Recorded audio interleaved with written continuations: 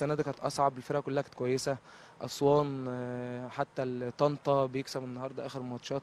كانت الماتشات كلها صعبة الظروف ضيعنا بنات كتير الدور الأولاني كنا بنبقى كسبانين حوالي أربع ماتشات كسبانين 2-0 وبنتغلب 3-2 أو نتعادل.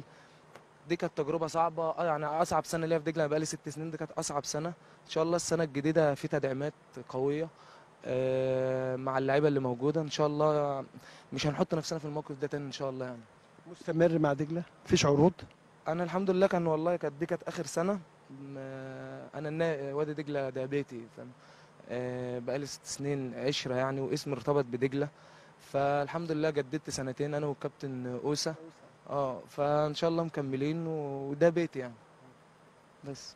شايف آه، دجلة مع بابا ف... بابا فاسيليو بابا فاسيليو آه، اتغير عن المدير الفني السابق آه، كاتيلس؟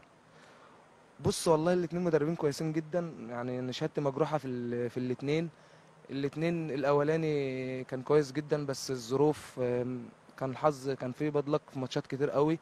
الراجل ده ميزته إن هو بيهتم بالحتة الدفاعية شوية. حتى عدد الجوان اللي دخل فينا الدور الثاني أقل بكتير من الدور الأولاني. وكان ناقصنا شوية أماكن آه، هم بقى النادي شايف الأماكن دي وإحنا كنا حاسين كان ضغط جامد علينا. أصعب حاجة لما أنت تلعب ماتشات في الآخر وأنت مضغوط خايف تخسر. فالحمد لله النهارده الناشئين في الناشئين طلعوا بصوره كويسة. حسام الريال ببارك له يعتبر أول ماتش ليه وربنا كرمه بجون. وإن شاء الله هتشوفوا ناشئين. يعني وادي دجلة بصراحة أي ناشئ يتمنى يلعب فريق أول أو يتمنى ياخد فرصته يعني وادي دجلة أقرب نادي يعتبر في الفترة دي كلها. عشان بشكرك جدا وكل التوفيق الموسم القادم. حبيبي يا غندر حبيبي ربنا يخليك.